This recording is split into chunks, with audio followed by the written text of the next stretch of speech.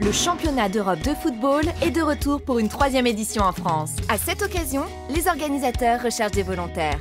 Ils seront 6500, répartis dans les 10 villes hautes françaises, à contribuer au succès de l'UEFA Euro 2016, du 10 juin au 10 juillet 2016. Ouvert à tous les volontaires, les rôles seront déployés dans les stades, les hôtels et les lieux officiels, dans un large éventail de secteurs. Transport, accréditation, informatique, logistique, billetterie et bien d'autres encore. Vous pouvez désormais postuler en ligne. Pour ce faire, comptez une demi-heure.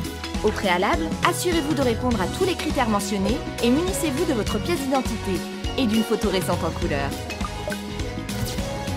Les candidats sélectionnés seront conviés à un entretien dans la ville pour laquelle ils auront postulé. Ne manquez pas cette occasion unique et rejoignez l'équipe. Inscrivez-vous dès à présent et devenez vous aussi un acteur de l'UEFA Euro 2016.